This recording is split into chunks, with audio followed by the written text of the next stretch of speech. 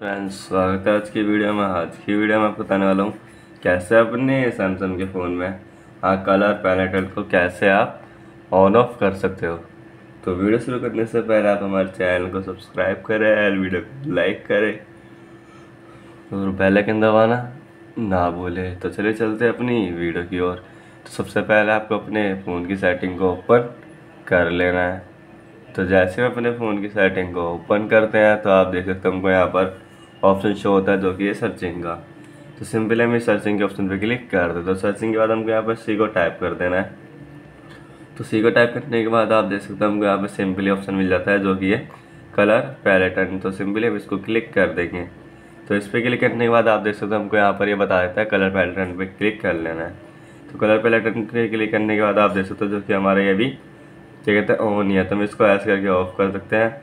Of के बाद आप देख सकते हो हम इसको ऑन करना हो।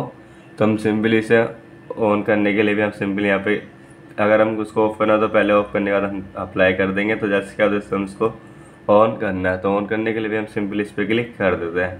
तो फिर उसका दोबारा हम अप्लाई पे क्लिक कर देते हैं। जैसे क्या दोस्तों हमारे कलर पैलेट करना है, वो ऐसे ऑन ऑफ़ हो जाएगा हमारे, जो कि है सैमसंग के फ़ोन में। तो आज की वीडियो पे ही समाप्त होती है। अगर वीडियो अच्छी लगे तो वीडियो को लाइक करें एंड चैनल को सब्सक्राइब करें एंड थैंक यू